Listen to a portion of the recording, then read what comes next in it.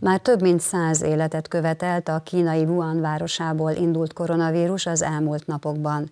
A tüdőgyulladásos járvány megfékezése érdekében a kínai hatóságok is jelentős erőket mozgósítanak. Kedden a Debreceni Egyetem közleményt adott ki az ázsiai tanulók részére, illetve több nagyvállalat is a megelőzéshez szükséges intézkedést vezetett be magyarországi székhelyein.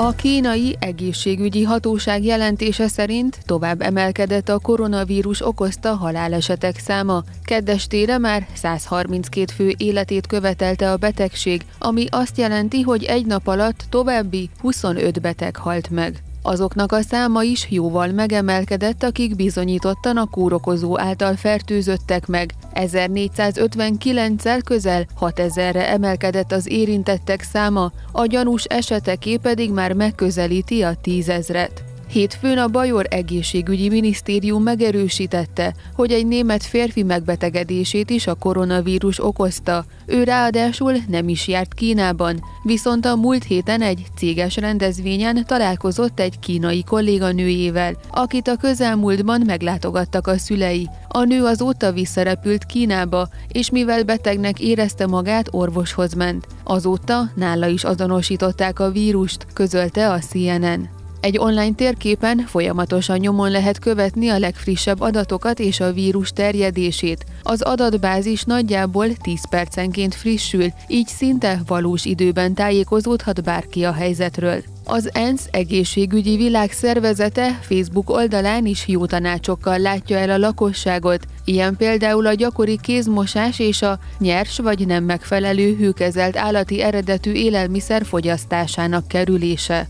A koronavírus miatt a British Airways felfüggeszti összes Kínába tartó közvetlen járatát. Magyarországon a Samsung Gödi gyárában karanténba helyezték a Kínából érkező dolgozókat, és fokozott fertőtlenítési szabályokat vezettek be, de már a Nokia is egyhetes otthoni munkavégzésre utasította a Kínában jár dolgozóit. Erre azért volt szükség, mert mint kiderült, a vírusfertőzött emberek akár napokig is tünetmentesek lehetnek, azonban ilyen állapotban is képesek átadni a betegséget.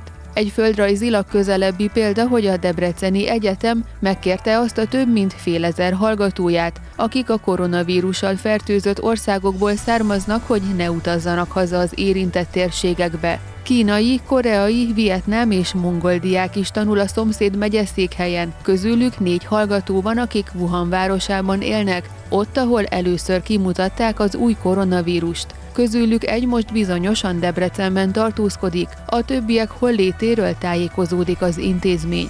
Az egyetem a pánik megelőzése érdekében minden a térségből származó hallgatóval, aki a közelmúltban otthon járt, felvette a kapcsolatot, Kérdő évekkel mérik fel az állapotukat és azt, hogy kikkel érintkeztek. Bármilyen kockázat esetén pedig az egyetem területén lévő házi orvoshoz irányítják őket. Vendégem a témával kapcsolatban a 35 perc stúdiójában dr. Kis Csaba házi orvos. Köszöntem itt a stúdióban. Én köszönöm a lehetőséget. A koronavírus kapcsán beszélhetünk-e már világjárványról? Tehát járványról mindenképpen, és ami a legfontosabb, hogy per pillanat, amit lehet olvasni, hogy nincs oltóanyag ellene. Igen, hát mivel ugye egy új fertőzésről van szó, ezért nagyon furcsa is lenne, hogyha már rendelkezésre állna oltóanyag, akkor az azt hiszem, hogy az eddig megjelent sok-sok összeesküvés elmélet mellett az még egy plusz táptalaja, táptalaja lenne a különféle ilyen. Így is van elég így, ezzel kapcsolatban. Így van, igen, igen, túlzottan sok is. Tehát igen, oltóanyag az nem áll rendelkezésre, és ez, ez nyilvánvalóan teljesen természetes, mivel hogy új, új vírusról van szó.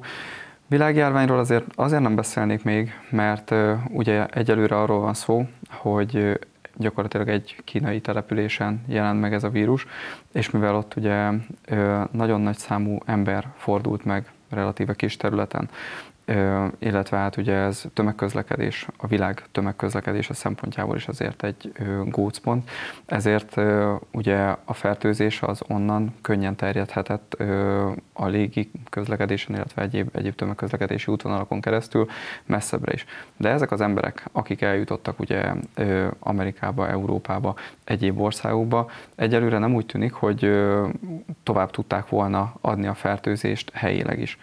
Úgyhogy ez tényes való, hogy sok országban van ö, betegeknél kimutatva ez, ez a fertőzés, de azért világjárványról még így ebben a formában nem beszélhetünk. A koronavírus, mint fogalom, az viszont nem egy új keletű fogalom és megnevezése ennek a típusú fertőzésnek, de amiről most konkrétan, ami miatt mi most beszélgetünk, az egy veszélyesebb típusa.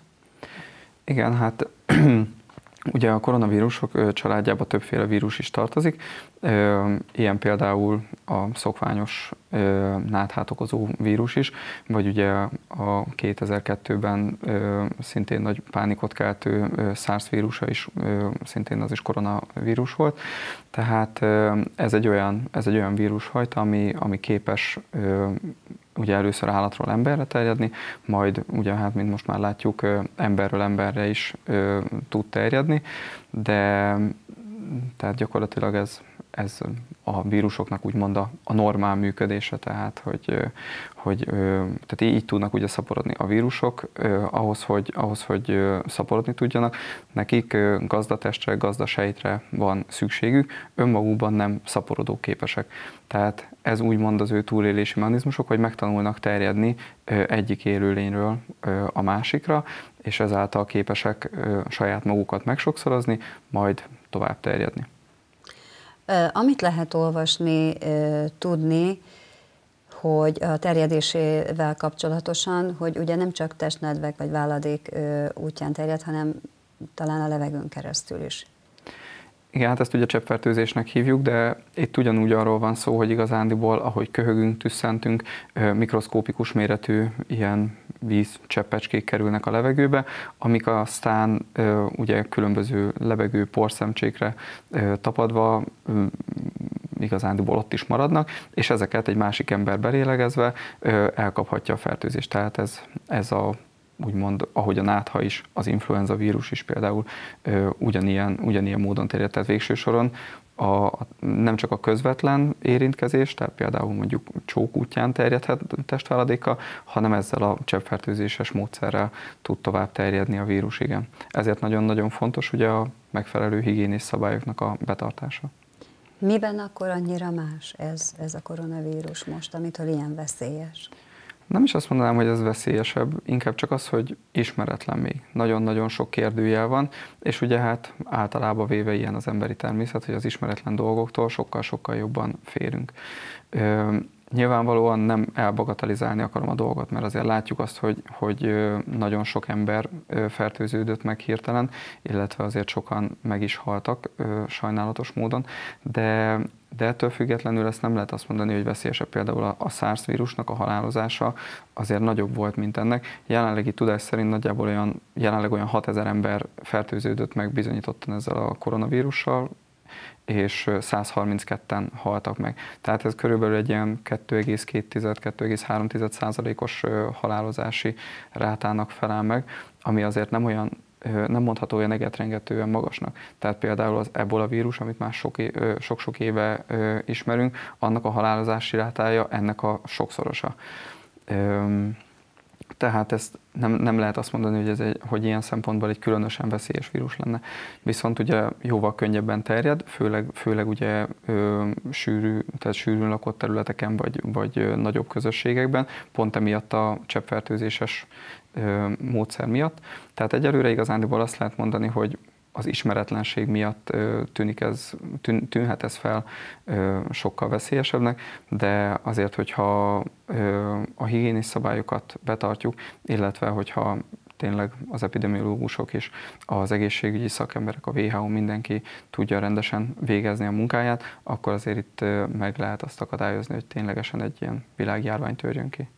Meg ugye közben folynak erőteljesen azok a kutatások, hogy keresik ugye az ellenanyagot, tehát hogy azt is várhatjuk, reméljük, hogy rövidesen. Természetesen igen, tehát hála jó Istennek azért a világon nagyon sok jól felkészült intézet van. Ennek a vírusnak a teljes genetikai, genetikai anyagát sikerült már megfejteni, úgyhogy sok országban dolgoznak a, sok országban dolgoznak most már azon, hogy, hogy a megfelelő védőoltást ki tudják fejleszteni. A eddigi információk alapján, tehát Magyarország semmilyen módon nem hozható kapcsolatba ezzel a járványjal. Tudtommal, olvasataim alapján hazánkban nincsen ilyen vírussal fertőzött személy. Egyelőre én sem hallottam arról, hogy Magyarországon bárkit is ö, kezelnének, vagy akár csak karanténban, ö, karanténba helyeztek volna, azért mert, hogy gyanús lenne, hogy koronavírus fertőzött lenne. Nyilvánvalóan azért, hogyha bárki észleli magán a tüneteket. Ugye itt azért nehéz ezt sokszor megállapítani, mert a tünetek azok, azok gyakorlatilag egy eleinte csak egy sima náthára, súlyosabb esetben ugye egy magas lázzal, köhögéssel, légzési nehezítettséggel járó vírusos tüdőgyulladásra emlékeztetnek, tehát csak a tünetek alapján nem lehet elkülöníteni más vírusos felső légúti fertőzésektől, de ugye ilyenkor sokat segít az, hogyha, hogyha tudjuk, hogy hol járt az illető, vagy milyen személyekkel érintkezett. Tehát, hogyha valaki észleli magán ezeket a tüneteket, és tudja, hogy találkozott olyan emberrel, vagy ő maga járt ugye az érintett területen, akkor, akkor mindenképpen haladéktalanul orvoshoz kell fordulni, és feltétlenül tájékoztatni kell arról, hogy, hogy ilyen helyen járt, vagy, vagy olyan személlyel érintkezett, aki járt azon a területen. Ugye mi most eleve az ön foglalkozásából, munkájából adódóan egészségügyi vonatkozásban beszélünk erről a járványról, és biztos vagyok benne, hogy itt akár még ennek a műsornak a keretében is téma lesz majd ez a jelenlegi téma, hiszen ennek nagyon komoly gazdasági következményei is lehetnek a jövőre nézve. Elhangzott az ön egyik mondatában a karantén kifejezés, ami, ami Nyilván néhány ember esetében is elképzelhető, de itt, itt nagyon-nagyon sok emberről van szó, akiket karantén alá akarnak helyezni, vagy már helyeztek is. Hát igen, ugye volt is erről már cikk, hogy a, hogy a New Yorki tőzsde is megérezte ezt a, ezt a járványt. Mm, ez érthető is, hát nyilvánvalóan a, a pénzmozgások mögött is emberek vannak, és az embereknek a negatív hangulata, az esetleges pánik hangulata, az nyilvánvalóan kedvezőtlenül fogja a pénzügyi helyzetet is befolyásolni. Azért én úgy gondolom, hogy ez, ez vélhetően egy átmeneti dolog lesz, bár erről nyilvánvalóan egy közgazdás sokkal-sokkal pontosabban tudna nyilatkozni, mint én. Igen, hát a jelenlegi cikkezések szerint itt 50 millió emberről is szó lehet akár a térséget illetően. Én köszönöm a tájékoztatást. Én is köszönöm.